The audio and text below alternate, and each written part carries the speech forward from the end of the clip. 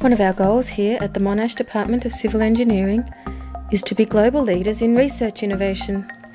In our new visualization laboratory, we are taking R&D and prototype development to a new level.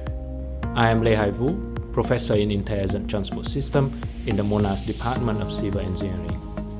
I am also a research leader of this visualization laboratory.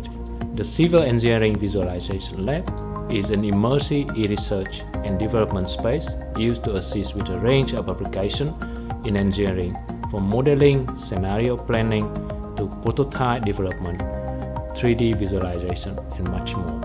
The room and equipment is set up to enhance research interaction, collaboration, and engagement. The Visualization Lab has a driving simulator, screen wall, and virtual and augmented reality technology.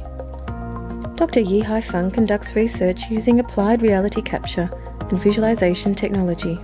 Our lab is equipped with state-of-the-art reality capture instruments. The scanners capture information and present it as point clouds used in a wide range of engineering applications, including as-built modelling for renovation projects and condition assessments of ageing infrastructure. The lab is equipped with room-scale virtual reality systems, allowing users to trial planning alternatives and identify potential safety risks and efficiency constraints and can also be used for on-the-job operational training. In other applications, future urban change scenarios can be designed and analysed in a collaborative environment, such as a stakeholder workshop. Future scenarios in relation to potential flooding, urban heat island effects, streetscape and built form can be explored in an integrated, immersive and interactive experience. Immersive visualization is also a key tool used for our transport and traffic research.